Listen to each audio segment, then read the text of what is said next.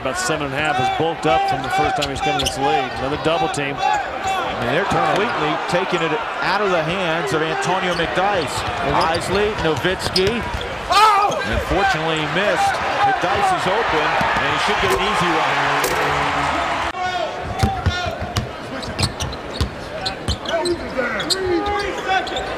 McDyess against Trent loses him, and that's what McDyess has to do. We haven't seen a lot of that the last 10 days. Opportunity. This is what happened at Reunion Arena. Just a week ago when the Nuggets gave up a 23 offensive rebounds. McCloud's got to beat Nowitzki. He finds Strickland. McDyess rolled a little bit early. George saw him late.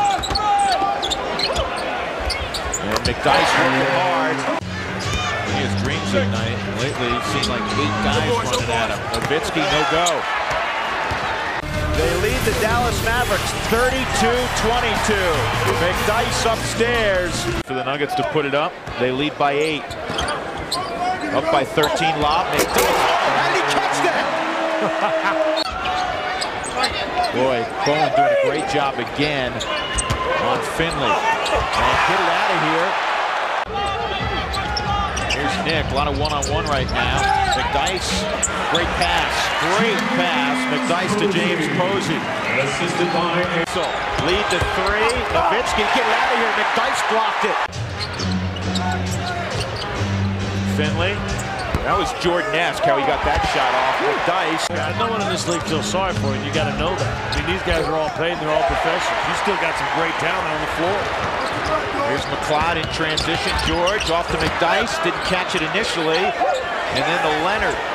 Not your textbook. You want to give Dallas any time if you miss a shot. Looking for a hero right here.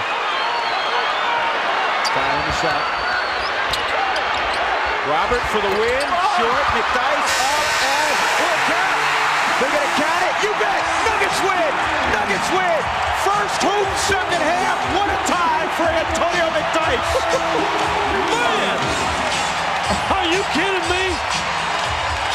As bad as they felt against this against Utah the other night, this locker room, well deserved, full house. Wow. There has not been energy in this building, positive energy like this in six years. Watch again. McDyess's 19th rebound of the game. Good penetration. Gets by Nash. Has a good look. Look at Bradley. Doesn't block out. Boom. Good. What a win. What a victory for the Denver Nuggets. I tell you what, and people got to remember they did it all night without Raef LaFrentz, and they did it basically the entire second half without Nick Van Exel. He's running out there. He's limping out there. I mean, 102-100 Denver with about a tenth of a second left.